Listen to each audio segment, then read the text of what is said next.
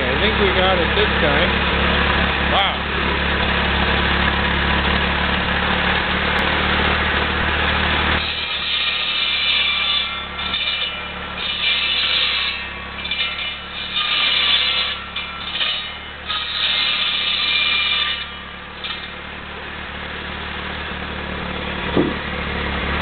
Forgot my safety gear.